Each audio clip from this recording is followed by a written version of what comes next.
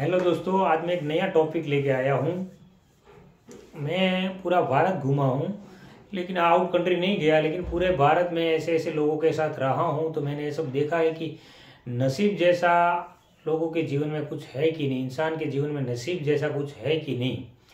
तो मैंने ये देखा है कि बाहर जो सक्सेस लोग हैं, वो लोग ऐसा मानते हैं कि आदमी मेहनत करता है और खास करके दिमाग से जो मेहनत करता है और सक्सेस जाता ही है, नसीब जैसा कुछ होता नहीं है, खुद का नसीब खुद को बनाना पड़ता है, ऐसा बोलते वो लोग।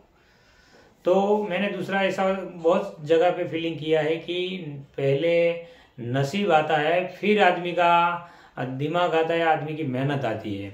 मैं आपको दो चार उदाहरण देता हूँ कि धीरू भाई अंबानी देश में उसको कौन नहीं जानता? धीरू भाई अंबानी ने पूरी लाइफ स्ट्रगल किया है। वो जब लास्ट में पूरे देश के अंदर सबसे अमीर ज़रूर थे लेकिन उसने पूरी लाइफ अमीरी महसूस नहीं किया, क्योंकि वो स्ट्रगल ही करते रहे। और उसका फल उसके बेटे ने भुगता। वो मुकेश अंबानी नसीबदार थे अनिल अंबानी, कि उसको इतना एम्पायर खड़ा हुआ, सीधा मिल गया।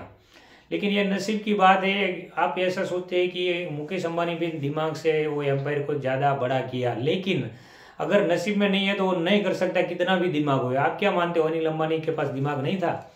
दिमाग उसके पास भी था, लेकिन कोई कोई उसका डिसीज़न गलत हो जाता है, या फिर उसने डिसीज़न जो लिया वो सही होता है, लेकिन सामने रिस्पॉन्स ऐसा मिल भी सकता है कि वो डिसीज़न गलत हो और आज वो मतलब ज़ीरो हो गए माइनस हो गए है बिज़नेस में। तो मुझे ऐसा लगता है कि नसीब जैसा तो ज़रूर है, उसके बाद आता है दिमाग और मेहनत।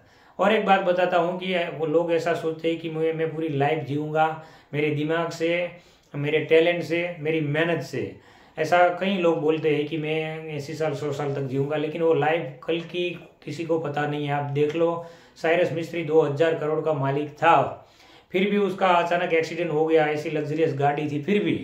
तो नसीब की बात थी। आपने व्हाट्सएप में यूट्यूब में कई वीडियो देखे होंगे कि इंसान कहीं लोग खड़े रहते और ट्रक या बस उसके ऊपर चढ़ जाती उसको मालूम ही नहीं रहता। तो नसीब की बात हो गई। हाँ बैठे बैठे कुछ नहीं मिलता, मेहनत ज़रूर करनी पड़ती है, लेकिन नसीब में पहले होना चाहिए तो ही इंसान को मिल सकता है। कितना भी मेहनत करे, वो उसकी बाजी पलट सकती है, वो बाजी उल्टी हो सकती है। मैंने कई लोगों को देखा है कि जो झोपड़पट्टी में दिमाग वाले बहुत थे, वो मर गए। उसने बहुत मेहनत भी किया था, दिमाग से भी मेहनत किया था, फिर भी उसकी हालत ऐसी होगी। जब मैं जेल में था, पंद्रह साल रह चुका, वहाँ भी मैंने देखा कि नसीब जैसा ज़रूर है। क्यों?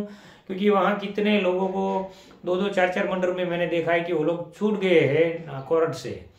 और कई लोगों को सामने सस्पेंड मर्डर है, फिर भी उसको सजा लगी है और सुप्रीम तक उसको बैठी रहती है। कई बार सेशन कोर्ट में सजा आजीवन लगती है, लेकिन हाई कोर्ट में जब उसका केस चलने पे आता है तो उसका नसीब अगर खराब है तो कोई जज ऐसा डिसीज़न लेने वाले आते हैं कि उसको सजा को कायम रखते हैं। और ऐसे जज आते हैं कि दस साल तो इसने काट लिए हैं, अब बेचारे को माफ़ कर दो तो उसको दस साल में भरी सजा में भी छोड़ देते हैं।